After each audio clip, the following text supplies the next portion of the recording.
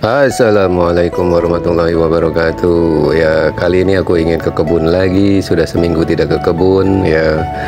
Aku akan tes Ya. Tes mandau. Ini asli dari Kalimantan ya.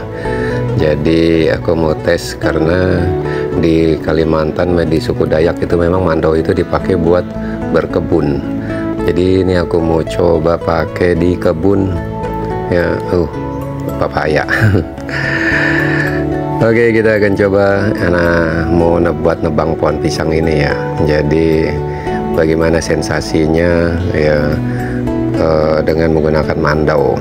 Oke ini mandaunya seperti ini guys ya.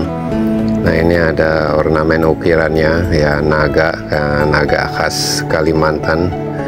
Ya ada ukiran-ukirannya. Ini ya uh, sarungnya ini ya serangkanya. Ini ada penyang. Penyang itu apa ya buat nakut-nakutin ya. Kalau di suku Dayak itu yang ku tahu ya. Penyang itu isinya kodam kalau di Dayak itu kalau yang ku tahu. Gua jadi macam-macam dia. Nah ini ada buat naro apa ini uh, menyan nih ya. Buat naro menyan kayaknya tuh. Nah ini ada buat naro apa nih dupa atau apalah gitu ya kayak apel jin tuh. Terus ada lagi nih di dalamnya nih. Apa ini? Nah ini uh, kalau temanku bilang katanya apa ini uh, kancut macan katanya apa kantong macan ya. Jadi uh, buah jakar macan tuh uh, kulitnya katanya.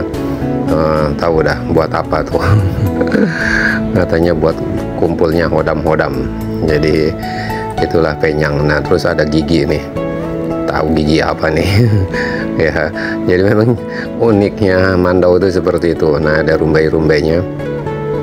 Uniknya mandau seperti itu. Ada penyangnya. Katanya penyangnya itu oh, isinya makhluk gaib semua. Katanya ya. Oke tapi ini aku aksesoris doang kayaknya ini ya. Karena ini mandau memang mandau bukan buat perang. Oke kita coba tes dulu ya. Uh, ini ringan sekali ya ringan sekali ini. Nah coba kita ayun-ayunkan ternyata benar ringan sekali ini ya. Jadi sangat ringan ya. Mungkin ah, gitulah mungkin didesain untuk berperang ya. Kalau ringan kan pasti asik lah buat istilahnya menebasnya ya. Apalagi orang Dayak istilahnya ada istilah kayau ya. Menggal leher musuhnya ya. Ringan sekali ini guys ya. Wah asik nih ya kalau seandainya buat apa? Buat perang ya ya jangan dipakai lah ya. Jangan dipakai buat tawuran. Oke kita tes dulu nih ya. Kita tes dulu buat nebang pohon pisang. Cet, ya lumayan nih ujungnya tajam nih. Nah lumayan juga. Ini nggak bisa langsung aku tebas langsung karena takut langsung rubuh pisangnya nanti rusak ya. Oke kita coba menggal pakai mandau nah, enak nih buat menggalnya. Nah ini dia pisangnya guys. Ada yang tahu ini pisang apa? Ya aku sendiri nggak tahu nih. Ini pisang apa namanya nih? Ya pokoknya asal tanam aja dah. Ya tapi rasanya sih kayak pisang kepok ini kalau dimakan ya.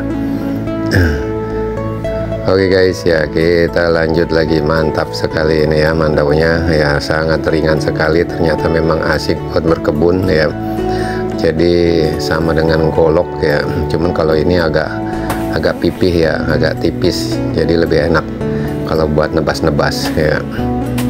Oke kita coba bersihin dulu ya. Tes-tes uh, dulu nih ya. Mandaunya buat beresin batang pisangnya nih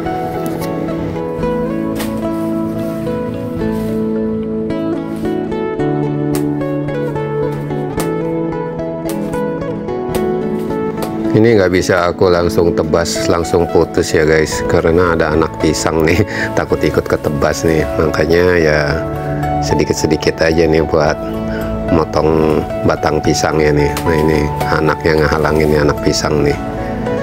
Ya tapi ini cukup recommended lah guys ya. Kalau seandainya kalian ingin berkebun dengan mandau ya lumayan sensasinya